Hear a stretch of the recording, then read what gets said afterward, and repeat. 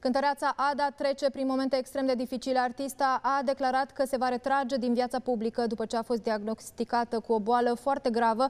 Artista a fost diagnosticată abia după un an și jumătate, timp în care a urmat mai multe tratamente. Vorbim despre boala ei și cu medicul Tudor Ciuhodaru, însă haideți să vedem mai întâi ce a pățit Ada. Eu sunt de piatră, nimic nu mă doboară O să lupt să fac oceanul să dispară Un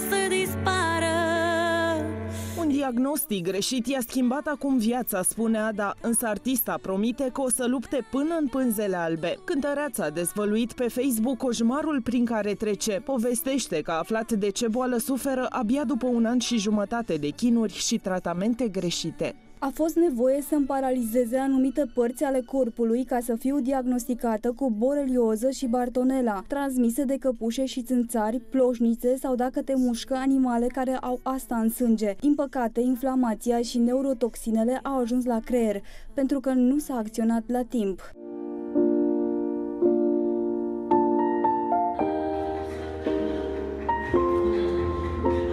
Decembrie anul trecut, Ada povestea cum a debutat boala și cum medicii nu știau să-i spună ce are. Se gândeau la diverse alergii.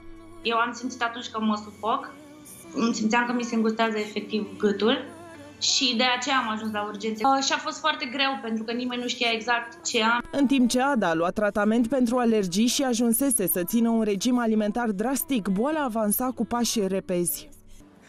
De când ai mâncat pizza? Acum, pentru Ada va urma o perioadă extrem de dificilă. Afecțiunea de care suferă este una extrem de periculoasă. Poate duce la paralizie totală. În postarea de pe Facebook, Ada a transmis și un mesaj pentru medicii care au diagnosticat-o greșit. Nu voi face scandal din asta, faptul e consumat. Eu sper doar să nu mai trimită pacienții pe piste greșite și să se trezească la realitate. Ada a anunțat că se va retrage o perioadă din spațiul public, dar promite să rămână activă în mediul online, unde îi va ține pe fanii săi la curent cu noutăți despre lansarea noului album. Evenimentul ar urma să aibă loc chiar de ziua artistei pe 3 martie. Mă uit în jur, am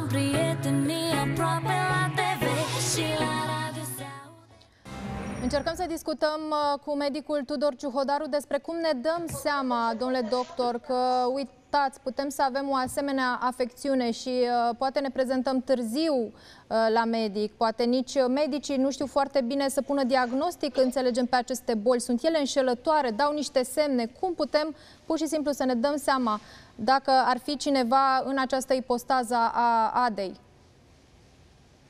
Să știți că am tras un semnal de avertizare de 1000 de ori, exact ca acele 1000 de fețe, acele sistem maladii, boala Lyme, pentru că ea poate mima aproape 200 de afecțiuni și să știți chiar și un medic cu experiență poate trece pe lângă un astfel de diagnostic, din păcate.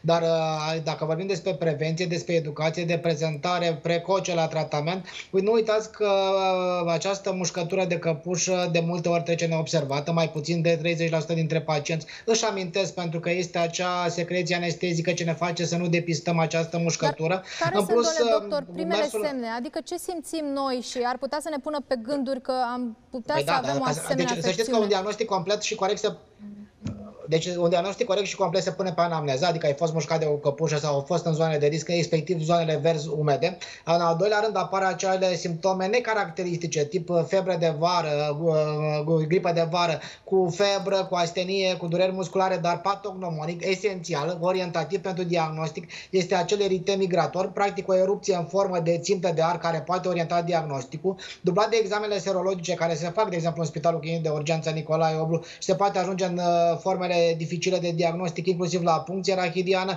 examen de la CR, în așa fel încât să confirme acest diagnostic. Dar după această etapă se merge pe uh, mimarea numeroase afecțiuni. Și aici vorbesc de cele neuropsihice, cele cardiovasculare, cele reumatologice și nu odată astfel de boală este etichetată de pneumatism articular acut sau scleroză multiplă. Așa că, în momentul în care ați fost mușcat de o căpușă, mergeți într-o zonă de risc. Consemnați apariția unor simptome ciudate sau mai puțin obișnuite, dar atât la locul mușcăturii, cât și generale, de tipul durere în gât, iritație, slăbiciune, tipul manifestări alergice, mergeți la un consult corect și complet, pentru că depistată la timp este tratabilă și țineți cont că tratamentul făcut la început cu antibiotice poate să rezolve definitiv o astfel de situație. Mulțumesc, Dacă nu se doctor. poate ajunge la forme severe Mulțumesc pentru și intervenția la Antena 3. Importantă Trebuie este educația urmărim... pentru sănătate.